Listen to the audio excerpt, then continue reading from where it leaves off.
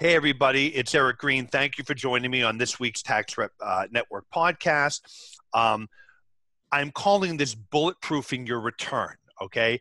And, you know, what, what I want to tell everybody about, all right, is I'm first of all I'm thrilled to be joined with this week's podcast um, guest, right? Damien Greathead of Receipt Bank. Damien is Receipt Bank's vice president for global accountants programs, and someone I work very closely with, both in my own practice, but also teaching accountants about documentation and IRS exams. Right? Receipt Bank. It, it, if you've never seen this before, and I'm going to tell you the story how Damien and I found each other in a minute. But if you haven't seen this before, it's an application. Uh, literally, it's an app on my iPhone. Um, it literally it allows you to literally take a photograph of your receipt. So if I'm out with um, clients tonight or when I'm at AICPA next week, I, I take a photo of the receipt. All right, that will literally go right into our accounting software. We happen to use, you know, QuickBooks, and and it's there and it's there and so is the image all right and that is why as a civil criminal tax guy i'm so excited about this all right um, and so the reason i say bulletproof your return is that now you have that image forever.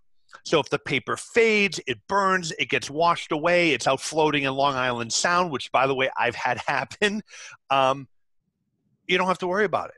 It's there forever. And as long as you've backed up your software and most people today are moving to quickbooks online as long as it's backed up, that's that that is audit proof. That is from an audit perspective, it is it is bulletproof as it gets. So Damien, with that as kind of our diving into as our intro to get into this, thanks for doing this. I, I, appreciate your coming on the program. I know you're crazy busy. I'm going to be seeing you in the next few weeks at the, at the conferences, uh, but thanks for taking the time. Absolute pleasure, Eric. Thanks for having me. Yeah. So uh, before we start, I wanted to just, as I mentioned, tell the listeners how you and I actually met. All right. And, and by the way, if you've listened to the podcast, you've heard this story before, but this is the story that led to my finding Receipt Bank and Damien. So, um, I get a client that comes in, uh, has been chosen for audit, right? Not a big deal. Go get me your records. He, and, and he himself is an attorney he said that's kind of the problem. I'm like, oh, here we go. You don't have receipts. He said, well, we had everything. He said, so what happens is we live in an apartment building. There's a fire in the apartment below us. And I'm like, okay.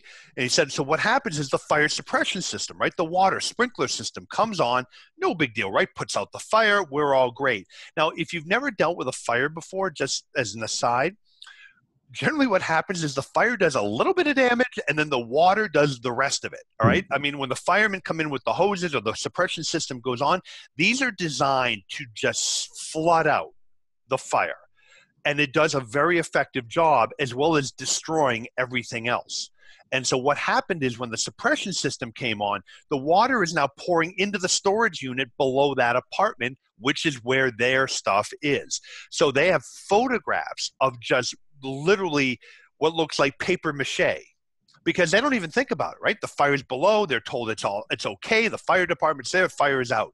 So it's several days later that they go down and it's literally soaking in, in, in a lake of water. So he told me that the receipts aren't even receipts. They're not only not, not only are they not even legible, it's like not even paper. It's like dissolved into this goo. And so he has photos of this but we have no records. So, of course, in comes forensic accountant. Dawn comes in, and she is now working with them to reconstruct all this. But I, I'm there one day in our conference room while she's showing him this app. You take the picture, it goes right into QuickBooks. I'm like, what is that? She said, Receipt Bank.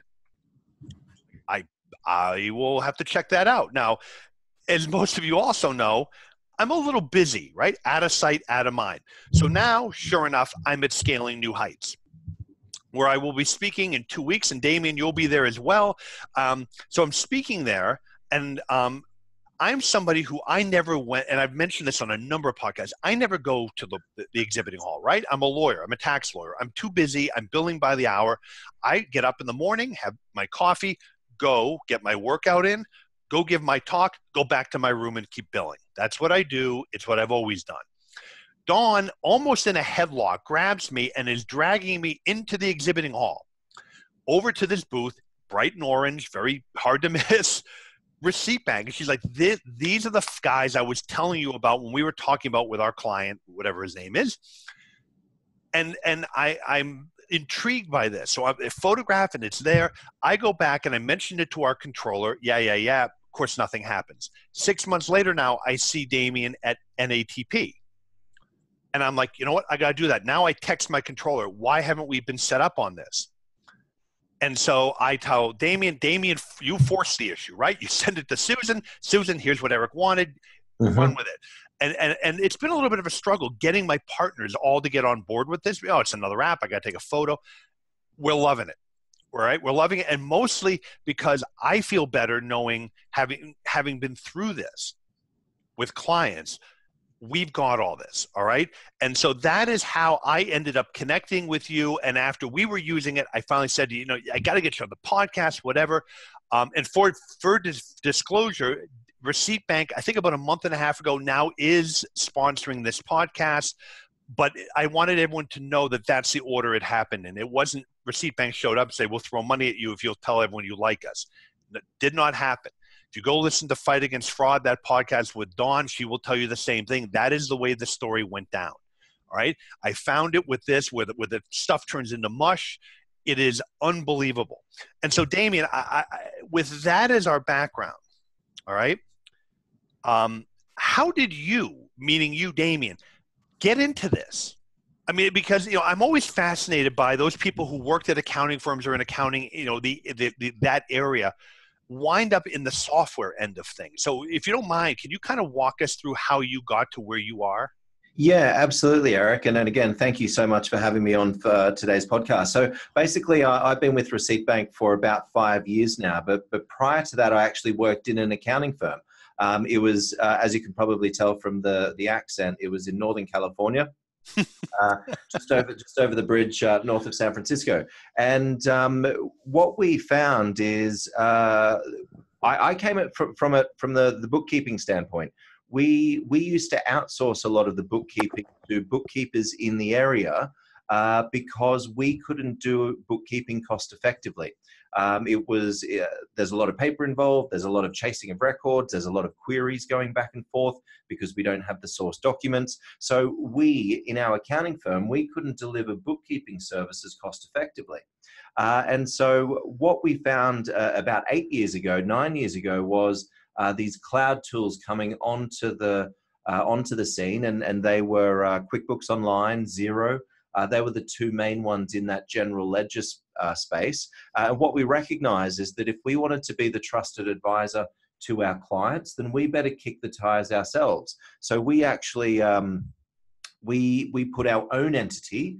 Uh, we took it off desktop, put it onto uh, Xero uh, in this instance, and and we started to see some of the the time savings uh, come come to fruition.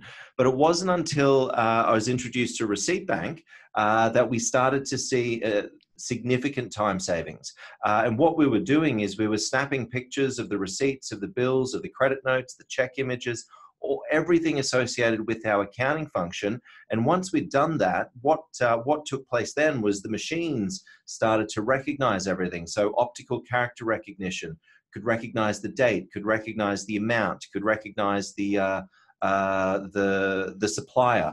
The machine learning got to work because it remembered how we dealt with AT and T last time. It remembered how we dealt with Staples last time, and it started to automate more and more of the keeping data entry, those routine, mundane things. Uh, but most importantly, um, it now filed everything so that we could easily search filter and download. So uh, if we ever had to go back to meals and entertainment between uh, uh, in October 2016, we could easily filter all of the receipts, all of the source documents for, for that very specific uh, supplier, category, date, amount. Uh, it, it, basically uh, eliminated all of the time associated with collecting documents, um, organizing them, uh, and also the data entry, getting all that information into the general ledger. So in our accounting firm, uh, we eliminated about 50% of the time associated with our entity's bookkeeping. Um, and what we realized is that we could actually go out to our clients and offer bookkeeping services with this technology. So we started to to ramp up the bookkeeping side of things when typically we couldn't. Uh, we couldn't do that work. Uh, what was the other interesting thing was we were able to recruit uh, clients, attract clients from outside our traditional 50 mile radius. Uh, we started to develop uh, niches ar- around dental practices and veterinarian clinics because we were able to roll out this technology across more and more of them. So that was my background. It was it was a light bulb moment for us to say that we didn't have to rely on once a year tax and consulting work, but instead we could do more regular recurring work, uh, such as bookkeeping, which led to much cleaner. Uh, tax work, uh, much cleaner compliance work, and then the, the, the other side of things was just the document management. The um, uh, we we ridiculously we had uh, um, storage space uh, a couple of miles up the road, and, and every at the end of every tax season, we'd head up there with another year's worth uh, of paperwork. Uh, but what we were able to do is we were able to take our entire tax practice, our bookkeeping practice, paperless uh, because of this technology, and that was huge. It's unbelievable. Well, isn't it unbelievable? Like like the the um, I think it was it OCT the, the ability to read um, off of the images has, has gotten so much better. I remember when the first business card scanners came out, right? Uh, the apps, and you would do it and you take a photo and it wouldn't read anything, right? It was all just gobbledygook. so by the time you finish retyping it, at some point you're like, this is stupid. I could re- I could input the stuff myself faster. It's gotten so good now. The ability for, I mean, checks, uh, anything. Yeah. Uh, and, and what I find amazing, you used to bring boxes and boxes, truckloads of paper up, and at some point you don't even have to go anymore right? The whole thing's on a thumb drive and you've uploaded it to the cloud. Um, yeah absolutely. I mean we used to call uh, ocr we used to call it occasional character recognition but now where uh, we can handle um, we're handling millions and millions of documents every month all different types the at&t bill the american airlines receipt the starbucks receipt uh, and and again it used to take um, three hours, six hours, half a day, a day to process a, a, a banker's box full of uh, full of documents. But now we're getting that processed within 30 minutes, 40 minutes, 50 minutes. Uh, even down to 90 seconds uh, for individual items. So the processing speed and the accuracy, uh, that's what's really come uh, ahead in leaps and bounds in recent years. Now, so and, and describe to people who've never used it what receipt bank i mean you've hit on a bunch of things. Describe what receipt bank does because you well let me put this way. You mentioned the recurring and that to me is really the brilliant i mean because it remembers right? So eric green takes clients to um, the cast iron chef which is the restaurant that's next to our building right? So we tend to go there because i can walk there. I can take that it goes right into meals and entertainment bam it, it, it's odd because it's it's seen it before and it does it when i go out to vegas that's not going to be terribly of much help because it'll have all these restaurants i normally don't go to but um, ah, but, but, but, but thing, we have the big thing, Eric, is we've we've probably seen a couple of those restaurants before. We'll recognize what the receipt looks like. Ah.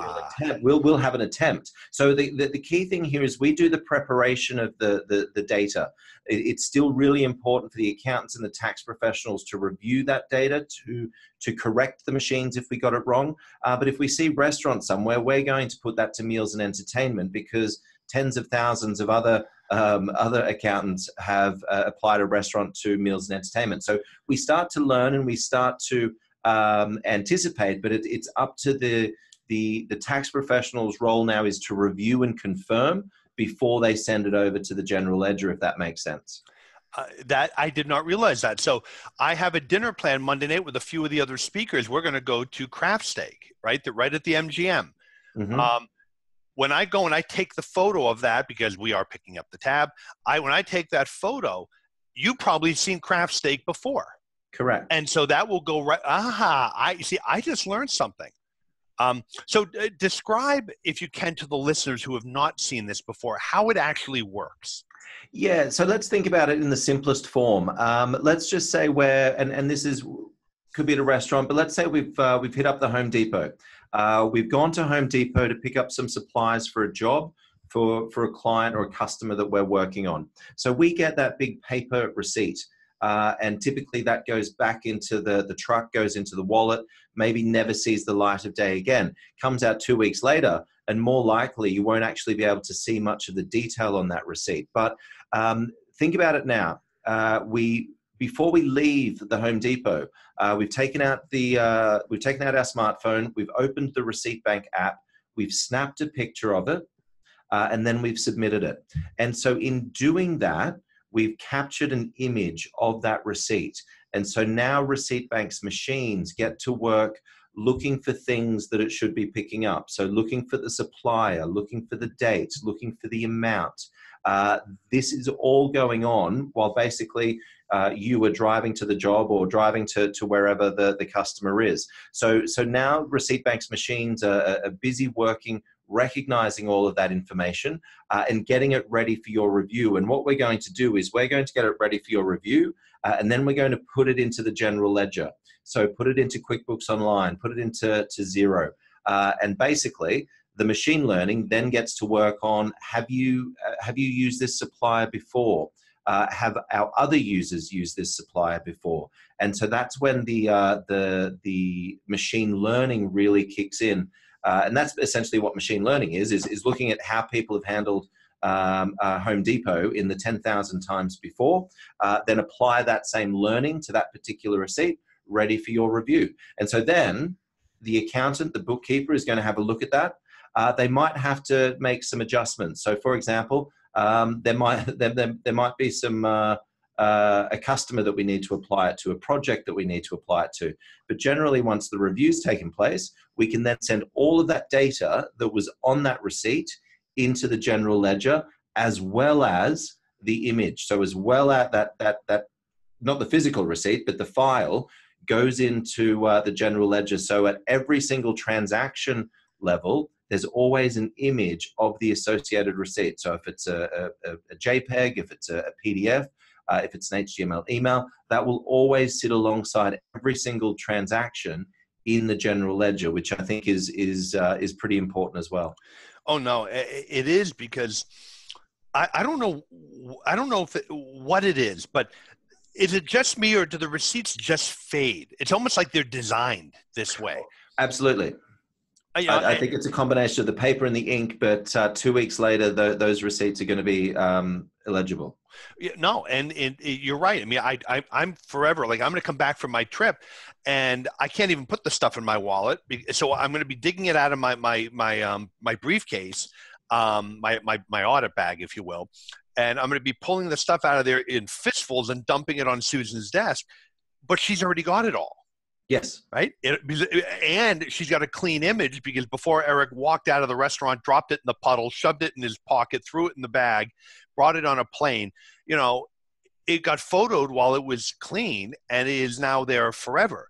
Um, so I, this is why for somebody who has these fights and has to bring in forensic accountants to reconstruct stuff and you never you can't re, you can never almost reconstruct everything right there's cash receipts that you just can't really get to and there's always going to be a battle with the auditor what you know if you're reconstructing what, what are we using and how are we coming up with our numbers so uh, this is why i'm so you know I'm, I'm being a tax geek. This is why I'm so psyched about this.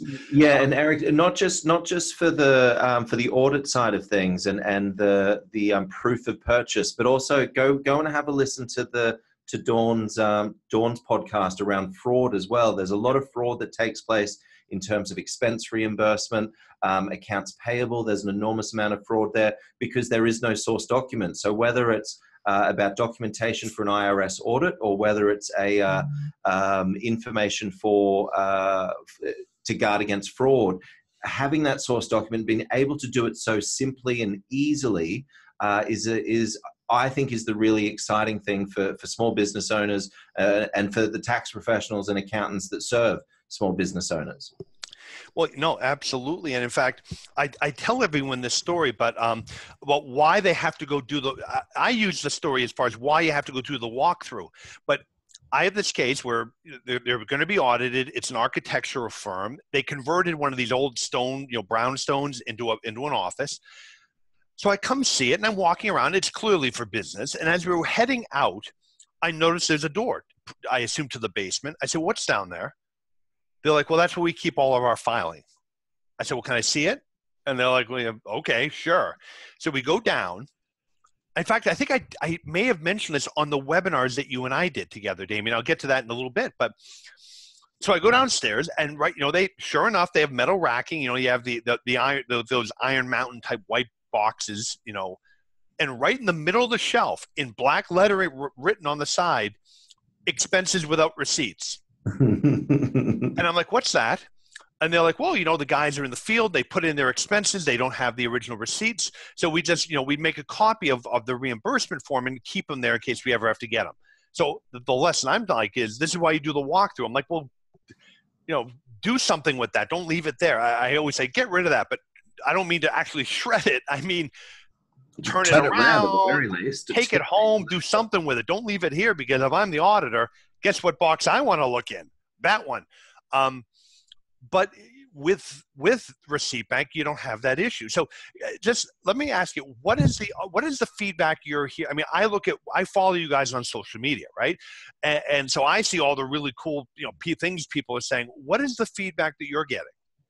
I, think the feedback from from users is its simplicity, um, is the ability to take a photo, uh, to and, and obviously a photo is one way in which we can get information into the system because you can scan and upload, you can forward an email, you can actually attach Receipt Bank to uh, more than 2,000 suppliers, and, and Receipt Bank will go and automatically get the bill. So it'll go and get the AT&T bill, go and get the Amazon receipt. So um, the simplicity in, in getting information into the system, I think that's one of the, the key highlights of the feedback we get. Uh, so easy to snap a picture, as you said, before you've left the restaurant, before we've left Home Depot, uh, and then it's done. It's taken care of um, forward an email directly into the system. So great from a, uh, the end user standpoint. So maybe some of the employees that are out in the field, very positive feedback there.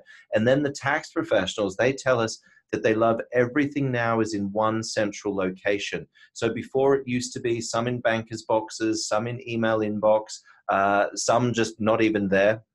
But now everything is in one central location for all of the users. Uh, and the, the, the tax professional, the accountant, the bookkeeping team, the owner, they can access it from anywhere. Again, previously we had to be in the office, uh, in the filing room, in the filing cabinet, looking for this information.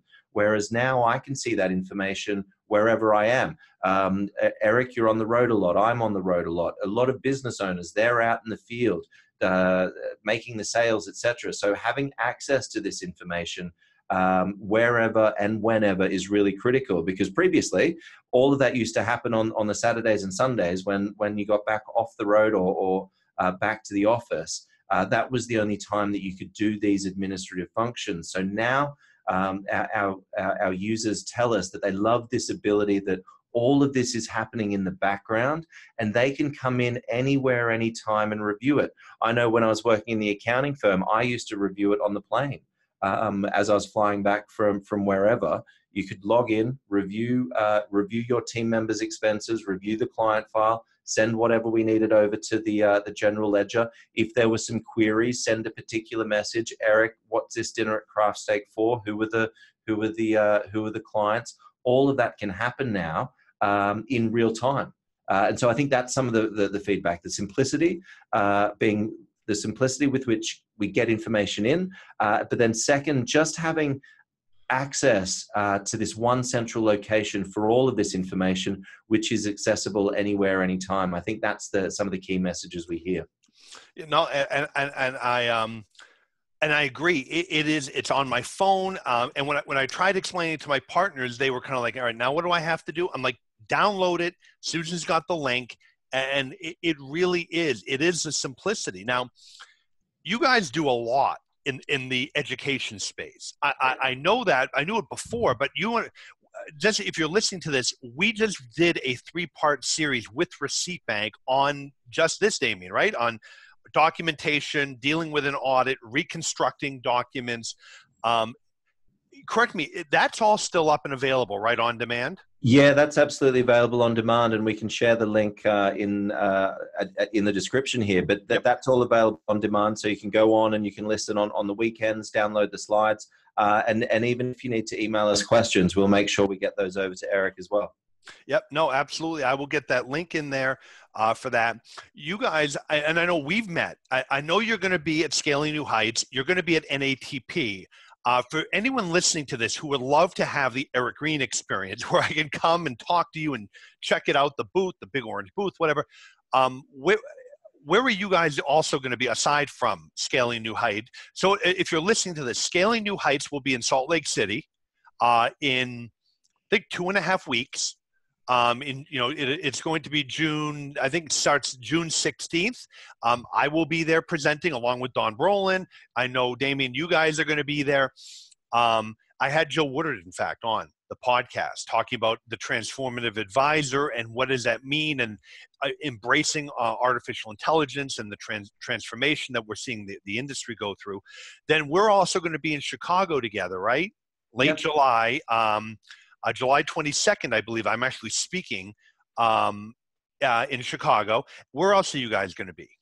Uh, so we're always at QuickBooks Connect. Um, Latino yep. Tax Pro is uh, that, that uh, Tax Fest is something that we typically attend.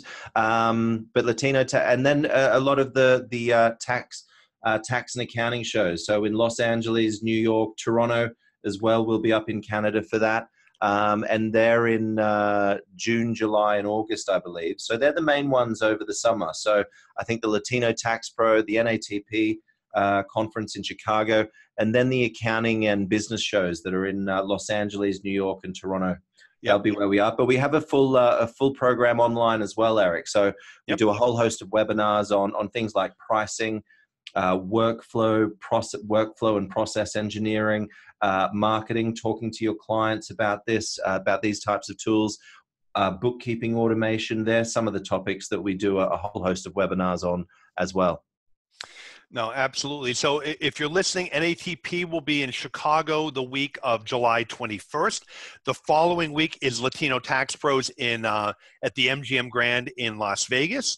Uh, we do a lot. I do a lot with the Latino tax pros, um, with Carlos and Tony, and um, it's a it's a it's really a, a great organization.